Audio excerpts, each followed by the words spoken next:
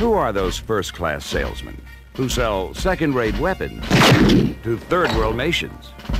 These little babies go for $400 over the counter. My price to you, if you'll take a thousand, $315. Take a couple of samples, take them home, see if you like them, let me know how many you need, okay? Simply lock the target in the sight, and the rest, well.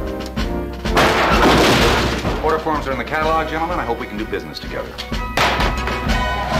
Mr. Muntz, I believe that your one small sale will help make limited global warfare a reality well into the 90s and we will all prosper accordingly. We're in a battle to sell this plane, gentlemen. And the enemy is not Moscow.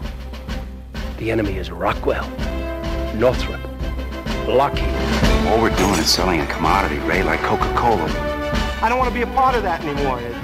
Ray, we're talking about pulling off the deal of the century here. I mean, if that sort of thing interests you. D minus 10 and counting. Chevy Chase, Sigourney Weaver, and Gregory Hines He's shooting at us! have a booming business.